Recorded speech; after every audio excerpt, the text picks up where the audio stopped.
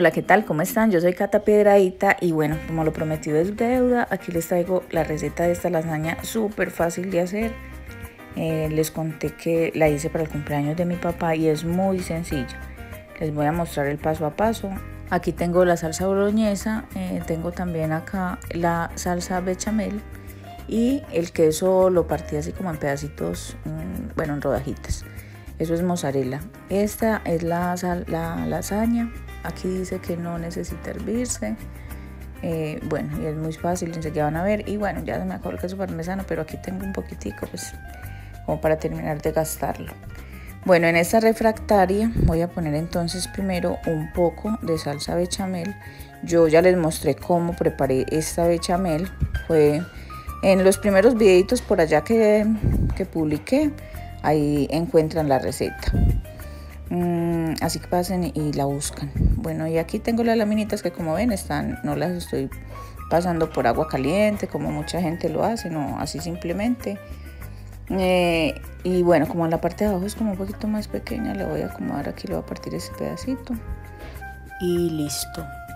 Ahora sí, por encima vamos a poner la salsa mm, boloñesa, que también el video anterior es precisamente esta salsa, no sé si ya la vieron.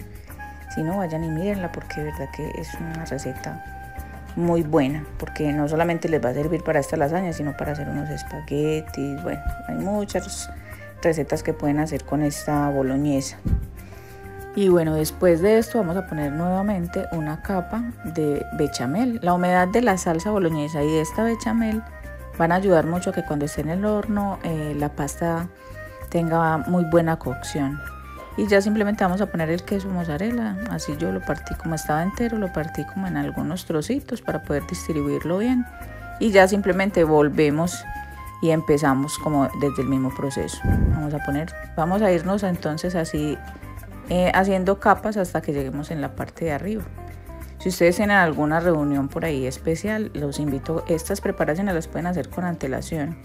La carne la pueden tener en la nevera queda mucho más rica si la hacen de un día para otros, incluso lleva unos tres días en la nevera, no importa, queda como con muy buena consistencia. Y así que también pueden compartirle esta receta a un familiar o una amiga porque mm, las van a ayudar a salir de apuro. Aquí están viendo que es facilísimo de preparar. Eh, tanto la bechamel como la boloñesa la pueden tener días antes en la nevera y, y, les va a ahorrar mucho tiempo en caso de que tengan alguna actividad o algún evento pendiente esto les va a ayudar mucho. Como ven, entonces ya termino aquí poniendo el poquito de queso parmesano que tenía y esto se va al horno a 180 por unos 50 minutos a una hora. Igual ustedes saben que cada horno es diferente, eso ya depende del horno de cada uno de ustedes. Eh, si hasta ahora les ha gustado la receta, háganmelo saber con un me gusta. Con ese pequeño gesto apoyan el canal y así también voy a saber que a ustedes les gusta este tipo de recetas. Como ven, yo lo hice bastante, bastante lleno, entonces miren cómo quedó rebosado, hasta se salió. Ustedes déjenle en el espaciocito porque, claro, cuando la pasta se hidrata, ya pues va a crecer y miren, esto es lo que pasa. Les recomiendo que la preparen con antelación a la hora en la que piensen partir porque ella hay que dejarla reposar para poder que no se le vayan a derramar todos los jugos. Aquí ya ha reposado un poco, ya no está tan caliente porque recién sale del horno. Si la partimos inmediatamente, mm, bueno, va a ser un desastre, entonces hay que dejarla reposar. Y bueno, ya enseguida la vamos a probar y les cuento.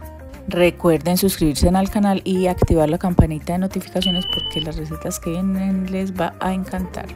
Bueno, y como ven, miren, hasta el queso se le sale. Ahora sí, llegó la hora feliz. Vamos a probar esto.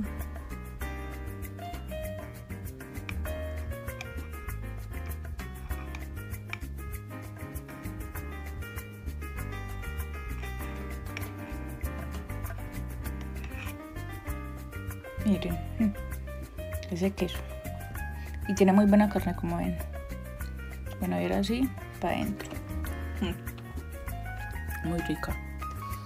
Tienen que preparar. Mm. Con pollo también lo pueden hacer.